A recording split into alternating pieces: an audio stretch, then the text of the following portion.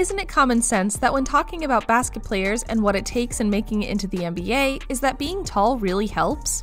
Do you think so too? Well, after watching this video, I think we'll be able to change your mind.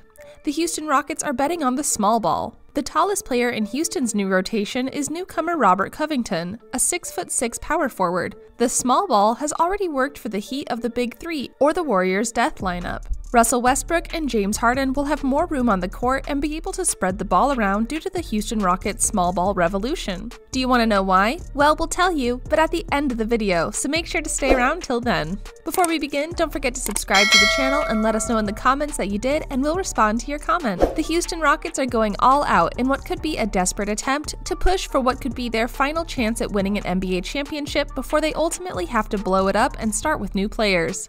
The Harden era in Texas, where he would put up 40 plus points in a game and eventually gas out in the playoffs, hasn't worked like they want over the past few seasons. The new twist on the franchise's seemingly rushed philosophy will be measured against the most demanding yardstick success or failure in winning an NBA title. The Rockets' small ball strategy has not appeared out of nowhere, as since the beginning of February, the team has played without a natural center in its usual rotation, with a positive result five victories and only one defeat.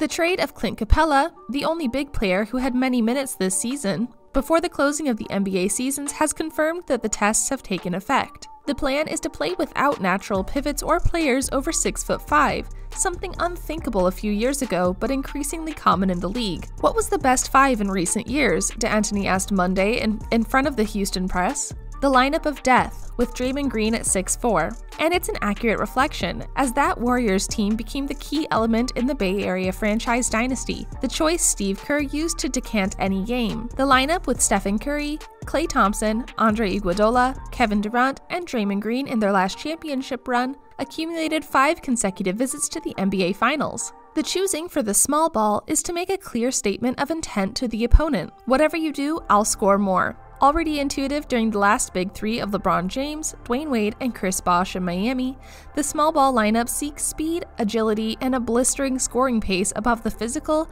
tactical, and painting game of the more classic basketball. At its best, the small ball becomes a game without defined positions, the last frontier left to slate basketball. Mike D'Antoni has the right weapons to launch himself into the adventure, with James Harden, 35.8 points on average, and the NBA's leading scorer, and Russell Westbrook, 26.4 points per game, leading the way. With the inclusion of former Minnesota Timberwolves player Robert Covington, a 6'6 power forward, a three pointer with scoring skills and good defense, called to cover the Rockets' paint positions with PJ Tucker, Houston's lineup takes shape without a conventional five. Harden, Westbrook, Gordon, Covington, and Tucker is their championship bet. He's our big man, D'Antoni said of Covington after his good debut 14 points and 8 rebounds against the Lakers. The victory over the Lakers has achieved two things Firstly, it helps Morey and D'Antoni sell the experiment inside the dressing room, the coach himself acknowledged on Thursday. Secondly, it serves to reaffirm that they are not insane in any way, as they keep veteran Tyson Chandler and rookie Isaiah Hartenstein as emergency pawns for when things get bad. But more than likely, when the playoffs begin in a Western Conference featuring such giants as Anthony Davis, Nikola Jokic, and Rudy Gobert.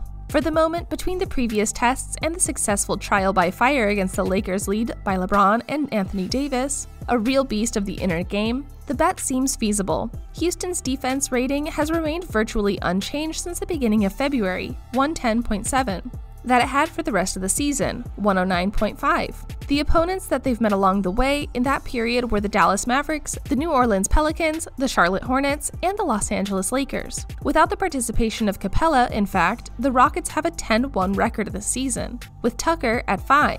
The Texans have scored 9 points more per 100 possessions than with the Swiss center, according to data from the specialized website Cleaning the Glass. The offensive data reveals the positive change for the Rockets. Since changing their game plan in the game they lost on January 30th in Portland, their offensive rating has risen sharply, from 116.6 to 119.6 on average this season, 119.8 in their current run of four consecutive wins. Whoever we're going to go out there and play with, whatever four the coach decides, we're going to go with it. It doesn't matter who they are or how they play.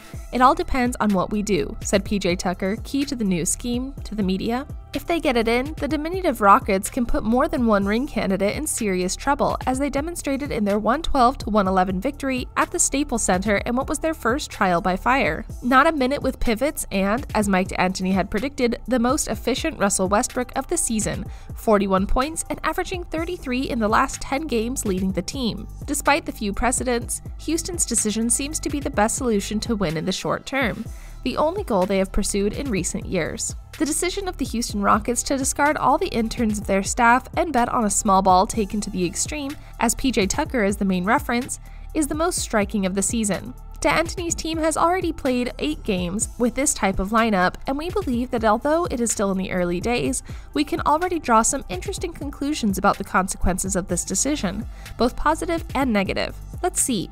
The first and most important thing to note since the implementation of the small ball is that it is working.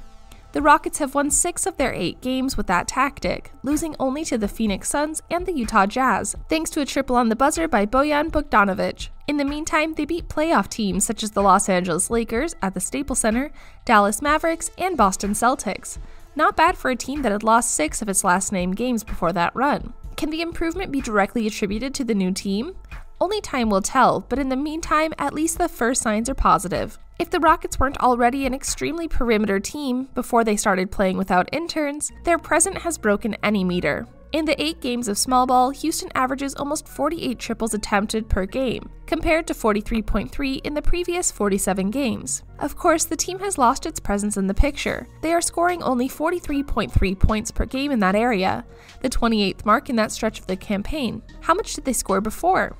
47.6 triples, ranking 17th. True to their style, D'Antoni, Morey, and company have decided to double their bets. Why stay halfway through instead of putting all their chips on what they are really convinced of? One of the particular data regarding the last eight games goes through the Rockets' defensive performance. They allowed 110.8 points per 100 possession, 10th best mark of the competition in that period, and just above what they were doing in the rest of the regular phase, 109.5 points. The sample is small, but for the moment, Houston has barely felt the drop on the defensive side, despite virtually no use of players above 6 feet. Where they have had a small setback is at the inside mark. They appear to be the 22nd team to receive the most points in the paint, 53 per commitment, up from the 51.1. The only points where the Rockets have really had a clear downturn is in the bouncing theme. Before small ball, they were the fifth best team on the boards, averaging 46.7 per game. What happened in the eight games since then? They've fallen to the bottom of the table, averaging only 38. The difference is remarkable and has taken them from one end to the other in a matter of days. So much so that their two best rebounders, James Harden, 8.1, and Russell Westbrook, 6.8. This is what usually happens when you lose a pivot who was down 13.8 rebounds per game, like Clint Capela, and you replace him in the starting lineup with PJ Tucker. While Westbrook had been coming along at a very interesting level in recent weeks, playing without a classic pivot seems to have opened up all sorts of possibilities for him. Facing much more open and sloping perimeter defenses, the former Thunder can take advantage of his explosiveness to reach the rim with ease,